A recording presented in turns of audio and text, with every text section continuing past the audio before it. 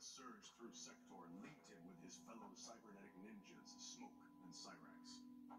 Becoming one mind, they were joined in an abomination of flesh and technology. The realms will soon